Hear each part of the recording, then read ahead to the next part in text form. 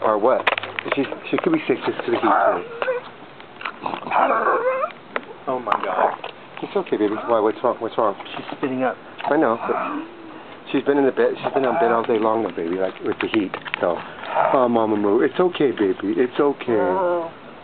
When I started drying her, she started getting all like doing that noise. I don't think she can breathe.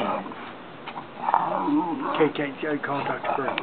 Okay, so maybe we have to bring her in.